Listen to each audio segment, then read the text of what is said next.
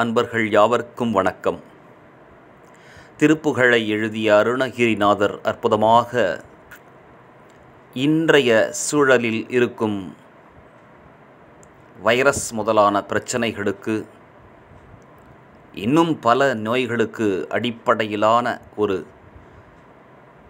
மந்திர சக்தி வாய்ந்த செய்யுளை இயற்றி நமக்கு தந்திருக்கிறார்.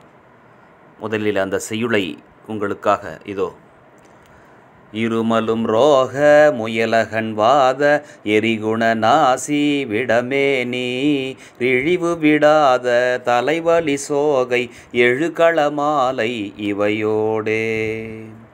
பெருவயிர் ஈழை எரிகுலை சூலை பெருவலி வேறும் உளநோய்கள் பிறவிகள் தோறும் எனை நலியாத படியுன தாள்கள் அருள்வாயே. வருமொரு கோடி அசுரர் பதாதி மடிய அநேக இசை பாடி வருமொரு கால வயிரவராட வடிசுடர் வேலை விடுவோனே. தருநிழல் மீதில் உரைமுகிலூர்தி தருதிருமாதின் மணவாளா. சலமிடை பூவின் நடுவினில் வீறு தனிமலை மேவும் பெருமாளே.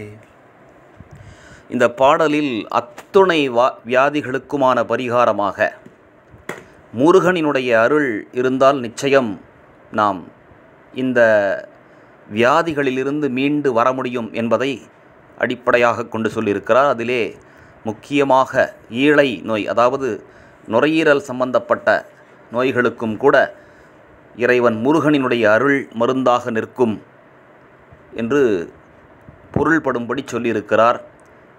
இந்த செய்யுளை நீங்கள் கூகுளில் இருந்தும் கூட டெக்ஸ்டாக எடுத்துக்கொள்ளலாம். அல்லது இதை ஒரு முறையாவது இரவில் படுக்கும் முன்பு கேட்டுவிட்டு படுத்துக்கொள்ளுங்கள் இக்கட்டான சூழலில் நாம் இருந்து கொண்டிருக்கிறோம் இந்த பாரத தேசத்திலே.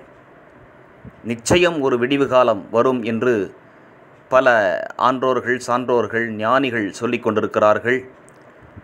இருந்தாலும் நாம் மருந்தாக சிலவற்றை உட்கொள்ள வேண்டியிருக்கிறது. மூலிகைகளை பயன்படுத்துகிறோம். அதுபோலத்தான் ஆன்மீகம் என்னும் அருமருந்தையும் அவ்வப்பொழுது செவிக்கு கொண்டு போய் சேர்த்து கொண்டே இருந்தால் அது மனதிலே பதியும். நிச்சயம் நாம் இந்த சிக்கலில் இருந்து விடுபடுவோம்.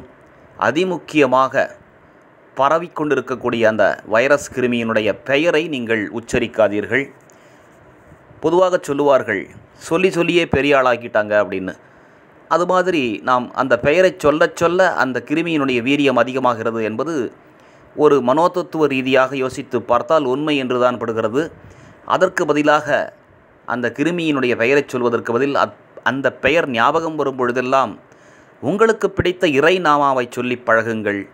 நிச்சயம் நாம் விடுபடுவோம். விடியல் நமக்கு வெகு அருகில். நன்றி.